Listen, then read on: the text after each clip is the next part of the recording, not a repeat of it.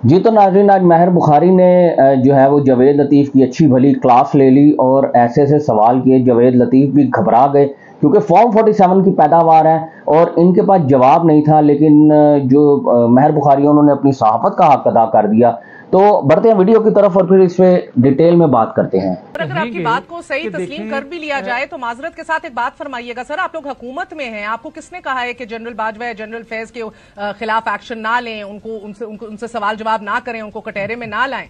तो माजरत के साथ सर ये हैं मगर दूसरी तरफ़ पर चलते हैं क्योंकि उधर के बेनिफिशरीज होते हैं सर। किसने रोका है आपको? ये बातें आप आके कर तो देते हैं। जमात अमली जामा नहीं पहनाना चाहती इसे। नहीं मैं एक तरफ़ आप माजरत करके हमारी बेबसी का मज़ाक उड़ाती हैं। बात यह है कि आप आपके इलम में है सर? कि 2014 2014 में धरना किस तरह हुआ था? आपके इलम में है 2017 में फैसला किस तरह दिलवाया गया था और देने वाले कौन थे? मेरे इल्म से ज़्यादा तो आपके इल्म में चीज़ें किसने रोका भाई बात तो सुन लेना। क्या क्या मैं क्या मैं उस वक्त प्राइम मिनिस्टर नहीं था?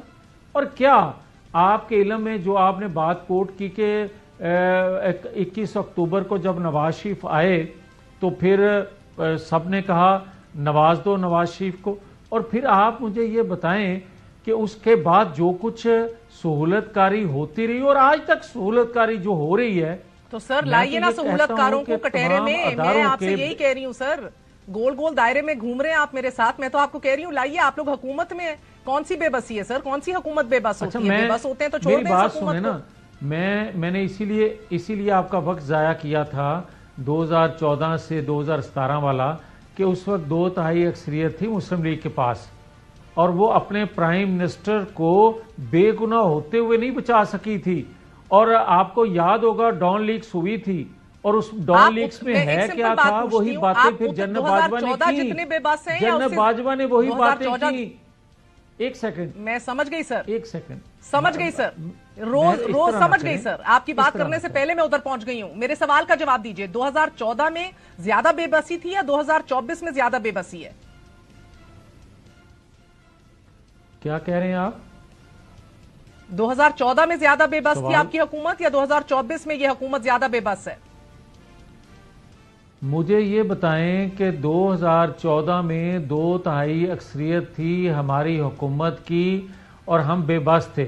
और आज हमारे पास सादा अक्सरियत भी नहीं है तो हम क्या उससे ज़्यादा आज़ाद हो सकते हैं? कैसी बात आप कर रही हैं?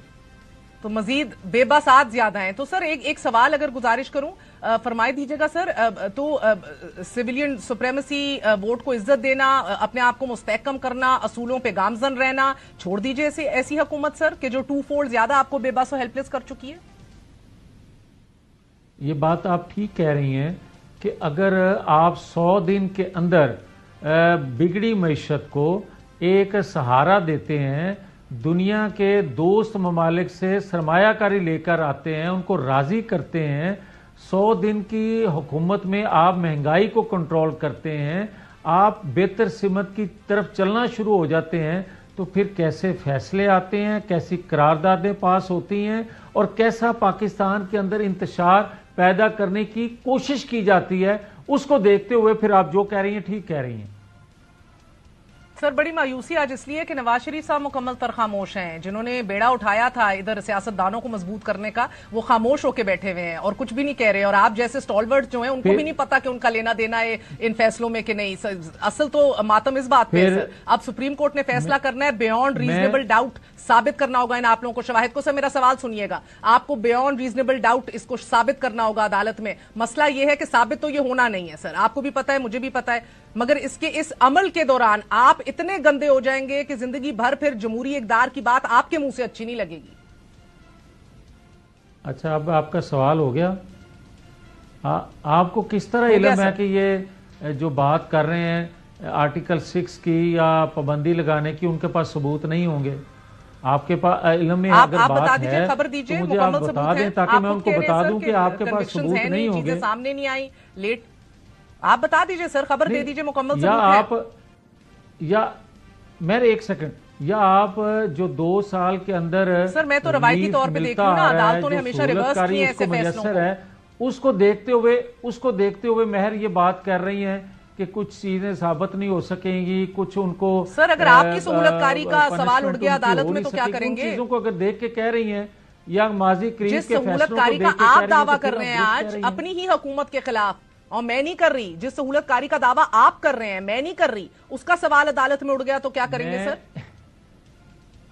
अच्छा मेरी बात तो सुन लेना। मैं ये आपको कह रहा हूँ सहूलतकारी आज भी उसको मैसर है। जो मैंने कहा कि अगर इतना बड़ा फैसला करने हुकूमत जा रही है तो तो मैंने आपको ये कहा कि अदारों को ऑन बोर्ड ज़रूर लिया गया होगा। मैंने ये आपको कहा है जिसको आप सहूलतकारी कह रही हैं।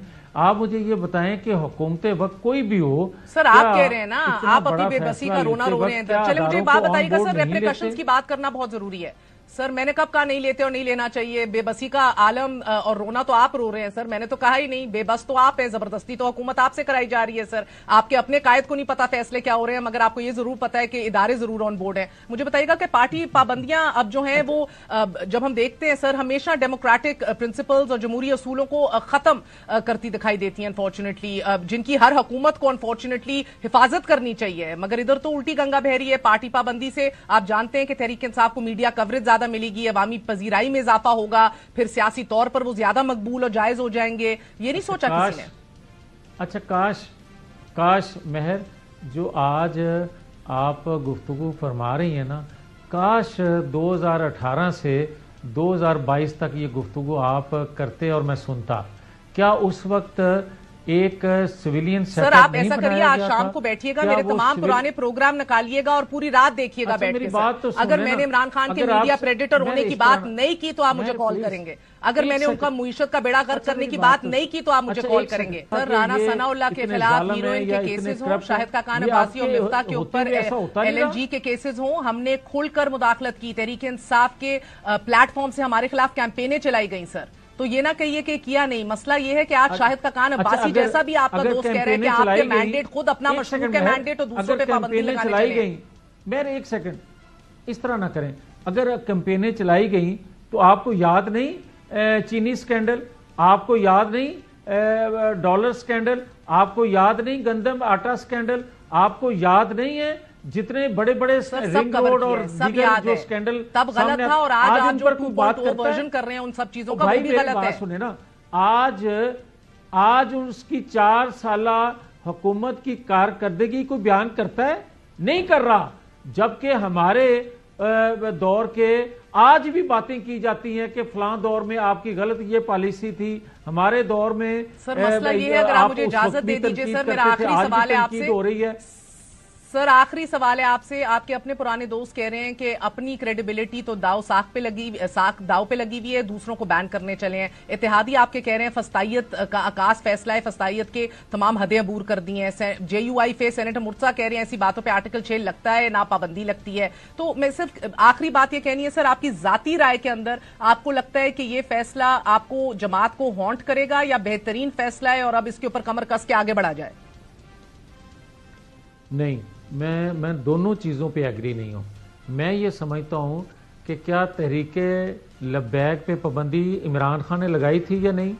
और क्या उस वक्त इमरान खान ने अपनी दौरे हुकूमत में ये कहा नहीं था कि इंडिया से फंडिंग होती है इनको? और फिर मुझे आज कोई बताए कि उस वक्त कितने लोगों ने बात की? और आज मैं जो बात कहने लगा हूँ कि किसी तौर पर भी किसी सियासी जमात पे जिसके अंदर दहशतगर्द ग्रुप ना हो उस पर पाबंदी नहीं लगनी चाहिए। उस जमात पे कभी पाबंदी नहीं लगनी साहब हमारे साथ मौजूद थे।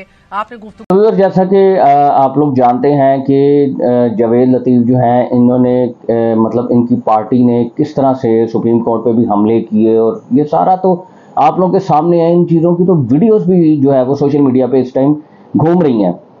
लेकिन जावेद लतीफ़ मतलब ये जो महर बुखारी हैं, इन्होंने इनको कहा कि भाई आप या तो एहतसाब करें ना, आप हुकूमत में होते हुए आप जनरल्स का एहतसाब नहीं कर पा रहे हैं तो फिर ये कौन सी हुकूमत है? तो मतलब जवेद लतीफ़ जो है, इस बात पे काफ़ी गुस्से में भी आ गए, उन्होंने कहा जी कि आप हमें जो है वो इस तरह से ज़बरदस्ती हमारे साथ मतलब करके तो हमें उसके बाद आप माजरत कर लेती हैं तो ये तो कोई बात नहीं है मतलब इस तरह से तो नहीं चलेगा। लेकिन जो बंदा सच्चा होता ना, अभी आप यहाँ पे इमरान खान का एक इंटरव्यू करें, और ये उनको ना बताया जाए कि उनसे क्या सवाल करने आप देखें वो एक एक सवाल का कैसा जवाब देंगे। लेकिन यहाँ पे, यहाँ आप देखें, कभी ये कहते हैं कि मुझे ब्लैकमेल कर रहे हैं, कभी कुछ कर रहे हैं, कभी कुछ कर रहे हैं तो फॉर्म फोर्टी सेवन के ये लोग जो है पैदावार हैं, और ये याद रखिएगा कि ये लोग आवाम के वोटों से तो नहीं आए तो जिस, जो इंसान आवाम के वोटों से नहीं आया होता ना, उसके सीने में फिर आवाम का दर्द भी नहीं होता। तो व्यूअर्स अगर आपको वीडियो पसंद आई तो लाइक शेयर एंड सब्सक्राइब अपनी राय का कमेंट बॉक्स में ज़रूर कीजिएगा। मिलते हैं नेक्स्ट वीडियो में, तब तक लिए अल्लाह हाफिज़।